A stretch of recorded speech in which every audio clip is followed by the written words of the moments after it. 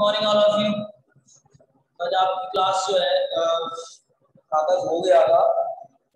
I think हमारा जो question है क्वेश्चन नंबर थ्री चल रहा था पेज नंबर ट्वेल्व पर।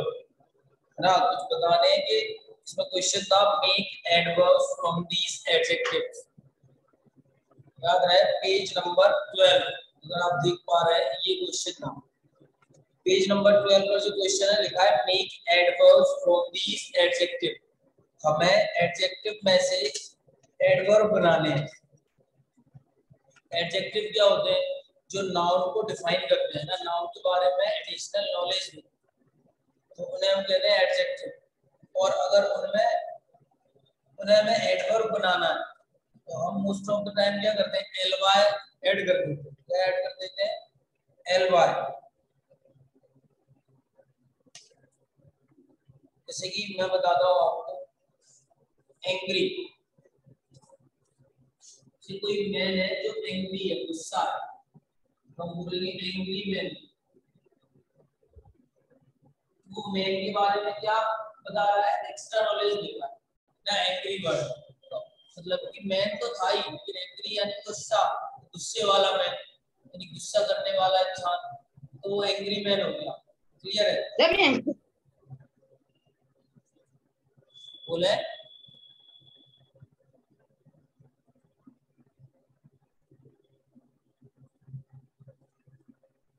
एंग्री तो एंग्री मैन अब इसका मुझे एडवर्ब बनाना है। एडवर्ब क्या होता है जो वर्ब के बारे में बताता है है ना? तो अगर मैं कहूँगा he talks to me angrily उसने मुझसे गुस्से में बात करी। तो कैसे बात करी?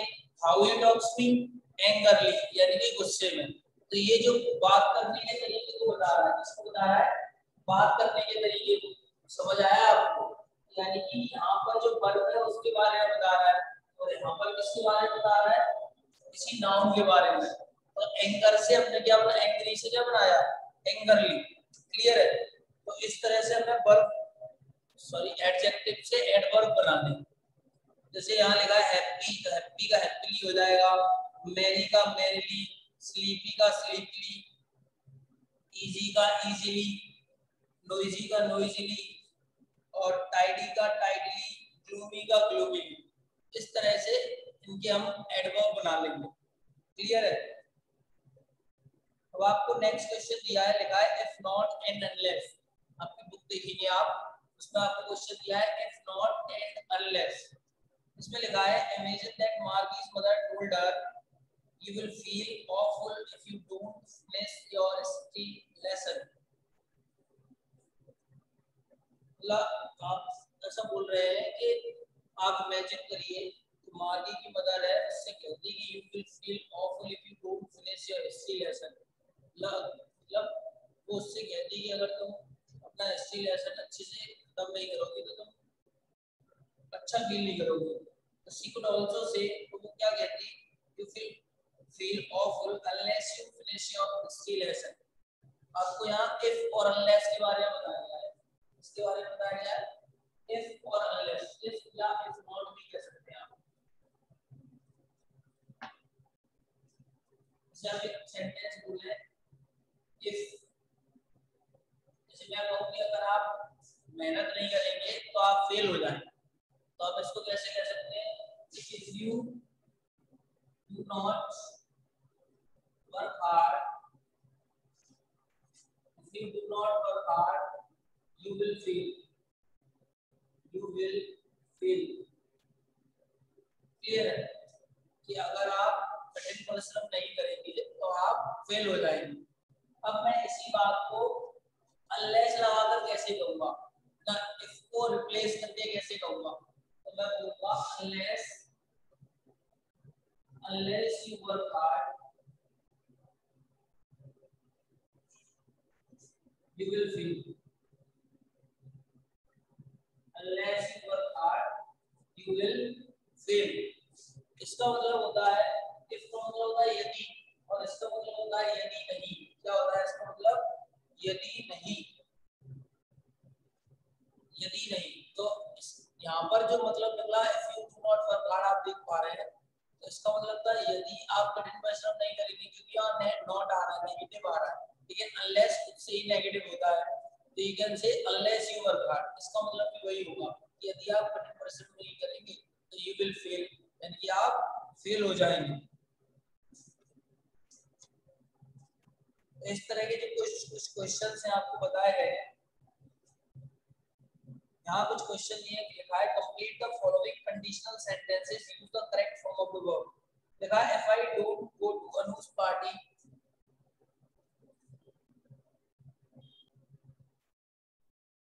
देखिए, हमने क्या था? और मैं कुछ क्वेश्चंस दिए हैं इसमें देख पाएँगे। इसमें लिखा है if you don't go to Anuj party tonight अगर आप अनु की पार्टी में आज नहीं जाएँगे तो आगे आपको लिखना है।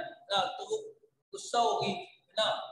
तो आप लिख सकते हैं सी विल गेट एंग्री या सी विल गेट इरिटेटेड तो इस तरह के आपको सेंटेंसेस खुद से ऐड करने हैं। देखा जैसे if you don't telephone the hotel to order food अगर आप टेलीफोन नहीं करेंगे इसके लिए होटल को फ़ूड को ऑर्डर करने के लिए तो आप क्या करेंगे? आपको खाना नहीं मिलेगा, है ना? You will miss your meal meal का मतलब होता है खाना। ना एक टाइम का खाना। जैसे कि आप दिन में हम चार तरह के खाने खाते हैं। ब्रेकफास्ट फिर लंच होता है सफ़र होता है या हमारा डिनर होता है। इट इज़ कॉल्ड मील है ना? मील कहते हैं। मॉर्निंग मील यानी ब्रेकफास्ट ना मिड डे मील इस तरह से होता है। तो वो कहता है कि if you don't telephone the hotel to order food अगर आप फ़ूड को ऑर्डर करने के लिए होटल में कॉल नहीं करेंगे तो you will miss your meal आप अपनी मील को मिस कर देंगे। खाने को मिस कर देंगे। तो unless you promise to write back अगर आप प्रॉमिस नहीं करेंगे लिखने का पीछे I will not write write you another letter तो आपको मैं अगला लेटर नहीं लिखूँगा। तो इस तरह से आपको खुद ही सोचकर उनके जो कंडीशंस हैं, वो ऐड कर लेनी है। इसमें क्या है? इफ़ जो है वो कंडीशनल वर्ड होता है क्या होता है? कंडीशनल कंजंक्शन कह सकते हैं यहाँ से ये वाला जो सेंटेंस है ना, इसी को हम, इसको हम डिपेंडेंट सेंटेंस कहते हैं डिपेंडेंट यानी क्लॉज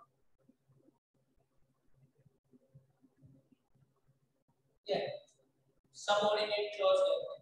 ये सबऑर्डिनेट कंजंक्शन होता है, इसको सबऑर्डिनेट क्लॉज भी कहते हैं, और ये मेन क्लॉज होता है। इस तरह से हम इनको लिख लेना है। अब देखेंगे आपका नेक्स्ट क्वेश्चन नेक्स्ट क्वेश्चन में आपको राइटिंग के लिए है, आपको एक लेटर राइट करना है। ये आपका वर्क रहेगा, इसमें लिखा है a new revise volume of Isaac Asimov short stories has just been released ठीक है, अभी क्या है, कोई नया वॉल्यूम यानी नई बुक है आइजैक एजिमोव की, वो रिलीज़ हो चुकी है। तो ऑर्डर वन सेट आपको ऑर्डर करना है एक set write letter to the publisher आपको पब्लिशर को लेटर लिखना है Mind Fame Private Limited 1632 Asaf Bollywood new Delhi ये उनका एड्रेस है। Requesting that a set be sent to you by valuable post and paying and giving your address your letter, have the following parts. आपके आपके लिए letter के लिए कुछ parts दिए हैं। आपको यहाँ पर एक पब्लिशर को, उस बुक को मंगाने के लिए लेटर लिखना। क्लियर है? ये आपका वर्क रहेगा राइटिंग का। उसके बाद आपको पोयम दी हुई है आपकी बुक में the road the road not taken क्या है?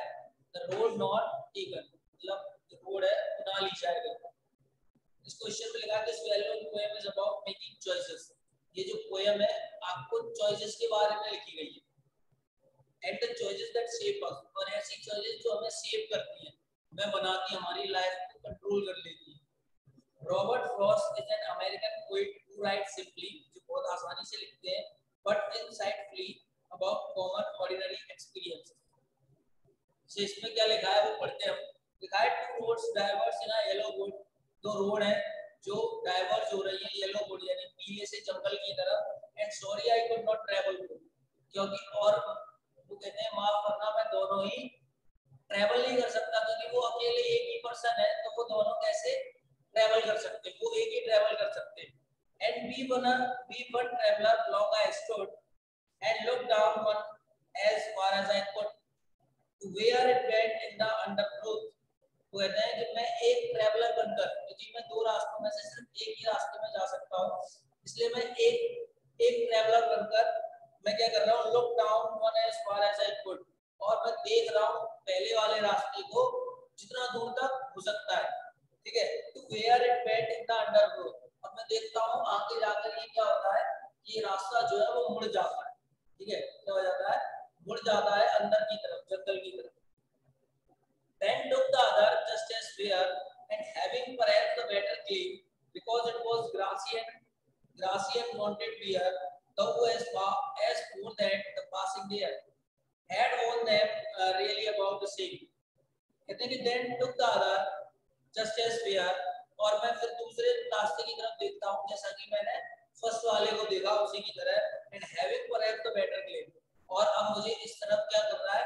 पहले वाले रास्ते से दूसरा वाला रास्ता ज़्यादा अच्छा लग रहा है. क्यों अच्छा लग रहा है? Because it was grassy and wanted wear और वो क्या है? ग्रासी है. है ना? ग्रासी का मतलब है जो पहले वाला रास्ता था, उसकी जो घास थी वो बहुत अच्छी नहीं थी। इधर क्या है, जो नई घास है मतलब यहाँ से ज़्यादा लोग निकलकर नहीं जाते हैं। इसे हम अपने लाइफ में भी डिसीज़न लेते हैं तो वो करते हैं जो लोग नहीं कर रहे हैं, है ना? हम उसी रास्ते को चुनते हैं जो सारे लोग नहीं कर रहे हैं। मोस्ट ऑफ़ द पीपल वो काम नहीं करते, उस रास्ते को चुनते हैं। इसलिए उन्हें दूसरा वाला रास्ता बहुत पसंद आया। Had won them really about the same. They end both the morning equally late it leaves no step at trodden black oh i kept it first for another day yet knowing how well it's on to be i doubted if i should ever come back और वो क्या कहते हैं कि मैं दूसरे वाले रास्ते पर चलने लगता हूँ and both that morning equally late the leaves no step at trodden black और उधर जो रास्ता है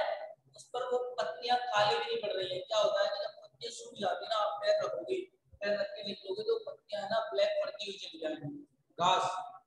तो वो वहाँ पर उस रास्ते पर ऐसा नहीं हो रहा है। देखो I kept the first for another day और वो कहते हैं कि मैंने जो पहला वाला रास्ता है वो किसी और दिन के लिए रख दिया था, yet knowing how way leads on to way और और ये जानते हुए वो कह रहे हैं कि मैं अब उस रास्ते पे कोई वापस नहीं जा पाऊँगा। यानी कि वो फ़र्स्ट वन जो है ना फ़र्स्ट वाला रास्ता है। जो फ़र्स्ट वाला रास्ता था पर वो अब कभी नहीं जा पाएँगे फ़र्स्ट वाले पर वो सेकंड पर चल रहे हैं, फिर भी वो फ़र्स्ट वाले रास्ते पर वो कभी नहीं जा पाएँगे क्योंकि उन्हें पता है कि अब मैं आगे बढ़ूँगा और कई सारे रास्तों में अब निकल जाऊँगा I doubted if I should ever come back. मुझे ऐसा लग रहा था कि मैं कभी वापस आऊँगा telling this with a sigh. Some bare edges and years hence. Two roads I was in a boat and I took the one less traveled by and that has made all the difference. मैंने I shall be telling with this with a sigh और मैं कहूँगा मैं कहूँगा क्या, बहुत समय बाद कि मेरे पास दो रास्ते थे, जैसे कि जीवन में होता है सभी के लाइफ में, वो कहते हैं कि मेरे पास दो रास्ते थे, और मैंने दोनों में से एक रास्ते को चुना था, इसलिए मैं आज यहाँ खड़ा हूँ अगर मैं वो वाला रास्ता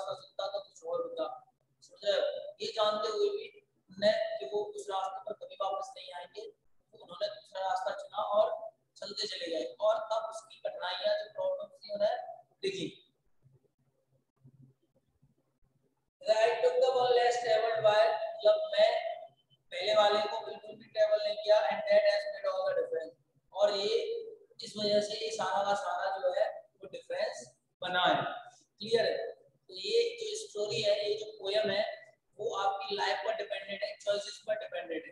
कि आप क्या चॉइस करते हैं? जैसे लाइक आप आफ्टर टेंथ क्लास कुछ चॉइस करेंगे। जब आप टेंथ क्लास में आ जाएँगे तो कुछ ना कुछ चॉइस करने वाले रहेंगे। कि आपको कुछ चॉइस करना रहेगा कि मुझे कौन सा सब्जेक्ट चुनना है, कौन सा चुनना है। जो आप बेहतर चुन पाएँगे, आप बहुत अच्छे होंगे तो उसको चुन पाए फिर उसी के बाद आपकी जो फ्यूचर है, वो डिसाइड होगा कि आप किस किस तरह की जॉब करना चाहेंगे या किस तरह की नहीं। इसी तरह से ये जो चैप्टर है, उन्होंने चॉइसेस पर बनाया है। चॉइस हमारे ऊपर कंट्रोल्ड होती है एक तरह से। अगर हम सही चॉइस करें तो हमारा लाइफ जो है वो सही जाती है, और अगर गलत चॉइस करें तो हमारी लाइफ गलत तरह चली जाती है। इसमें कुछ क्वेश्चंस भी हैं। लिखा है, where does the traveler find himself? What problem does he face मतलब जो पोएट है, उसने अपने आप को कहाँ पाया? और what problem does he face और उसने क्या क्या प्रॉब्लम्स फेस करी? इसमें लिखा है the traveller finds himself at a point in the world where two roads travels उसको दो रोड दिख रही थी, वहाँ पर उसने अपने आप को पाया।